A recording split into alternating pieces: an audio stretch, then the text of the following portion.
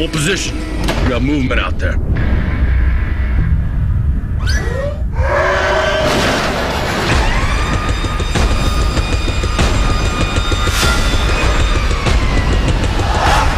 Ladies and gentlemen, you are not in Kansas anymore. Avatar. This film is not yet rated.